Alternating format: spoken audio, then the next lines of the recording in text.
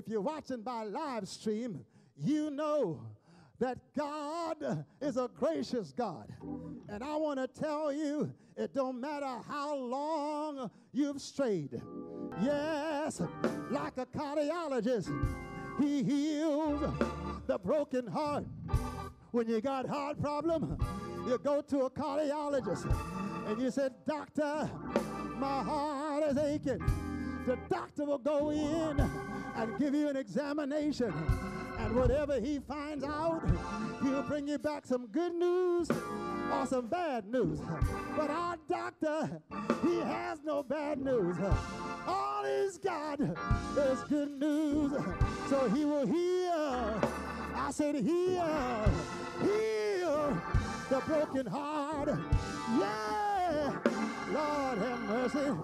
Like an ophthalmologist who works on your eyes.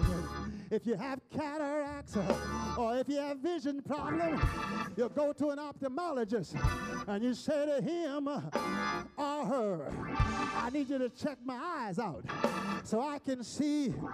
I want to tell you that the greatest ophthalmologist of all time is my Jesus. I heard about a story of a man born blind was brought to Jesus.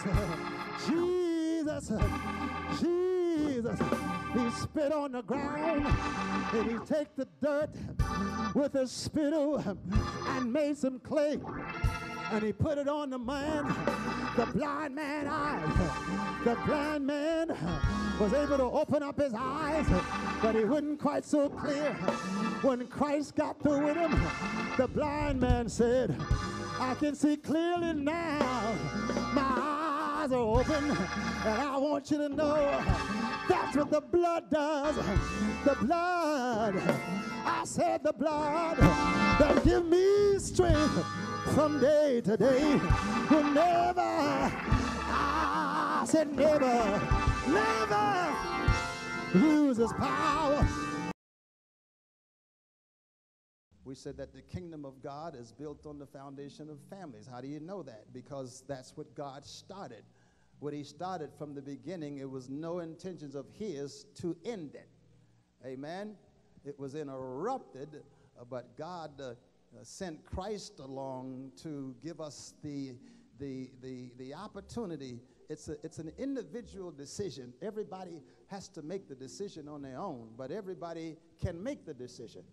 Unfortunately, everybody doesn't want to, but we here because we want to. We're here because we love the Lord, because of what He did in our lives. And so uh, I want to take you to the book of Galatians today. Galatians chapter 3.